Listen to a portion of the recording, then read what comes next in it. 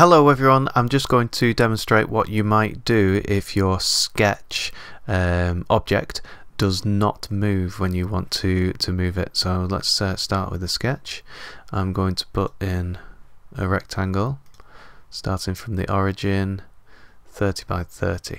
Okay, so this is my, my shape. I'm going to draw a box around it to select it all because I want to move this. Right click, move copy, and normally you'd just be able to drag this, say minus 30 mil to the left, um, and press enter, and it's staying where it is. Okay, so that's that's the problem that we're encountering.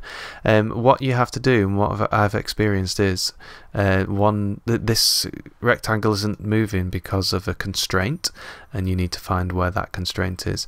All of these constraints are coincident points where the, the lines meet that one there as well.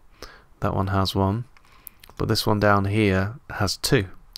Okay and basically what's what it's saying is not only are these two lines constrained together but this point is constrained on the origin point. So we need to find out which one of these is because when we delete that constraint we can start moving the rectangle. So that when we click that constraint it's highlighting the two lines and when we click that it's highlighting the central point. Can you see the difference between the two? So I think it's this one. I'm going to select it so it's blue and then press delete. Click it again.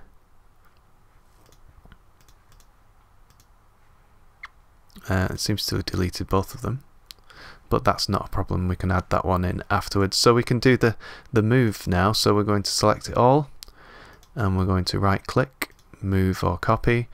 Now you can drag and the shape actually moves as the preview so we can go across 35 mil press enter and it has moved okay so hopefully that will help you I know I've been quite frustrated when my shape won't move but it's possibly due to a constraint it might be any of these constraints that's stopping your shape from moving so you might have to check for a constraint that's that's locking the shape into position.